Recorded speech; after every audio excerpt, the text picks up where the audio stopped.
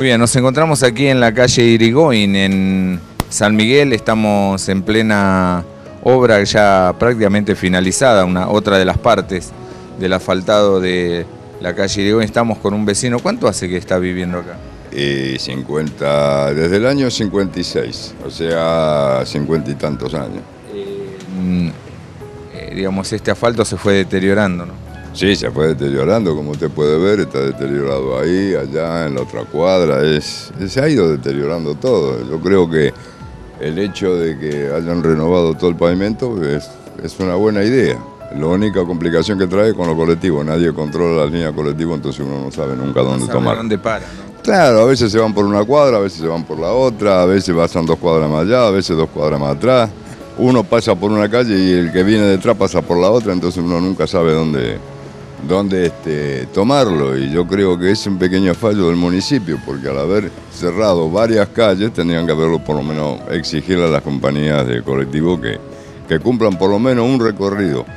Eh, por supuesto que se altera por el asfalto, pero bueno, que, que se cumpla ese recorrido. No, Hablando del asfalto, es bueno entonces. sí. el, el asfalto sí, el asfalto es bueno. Eh, yo creo que hacía falta que lo repararan y bueno, se está reparando.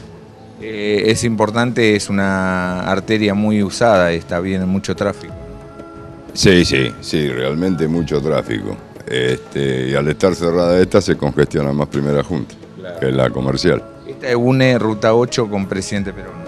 ¿no? Ruta 8 con presidente Perón. O sea, continúa pasando Perón, pero sí, en el tramo este une. Muchísimas gracias. No, no tiene por qué, buenos días. Muy bien, de esta manera entonces nos hablaba el vecino, vamos a ver si encontramos a otra vecina que nos opine acerca de esta obra tan importante. ¿Qué tal vecina? ¿Es importante esta obra? ¿Cómo le va? ¿Es importante esta obra? Es muy importante, sí, como no, seguro. ¿La esperaban ustedes? Y esperábamos. Estaba sí. muy rota la calle, ¿no? Está muy roto y sigue roto todo para ahí. Muy bien. Pero entonces ahora, ahora ya la están por habilitar. Sí, en esta cuadra falta un poquito, pero bueno, esperemos que lo, lo, lo- lo terminen pronto los muchachos. Muy bien. Porque Le- han cortado, de- han dejado de trabajar unos días. Acá circula mucho tráfico. ¡Ah! Y tráfico pesado, que es lo que le vamos a decir al intendente después, que no permita que pasen camiones cargados. Muchísimas gracias. Bueno, te conozco. De esta manera, de esta manera entonces vemos eh, la calle Irigoyen ya pronto a habilitarse, un sueño de todos los vecinos de aquí de la zona, ya que estaba muy deteriorada.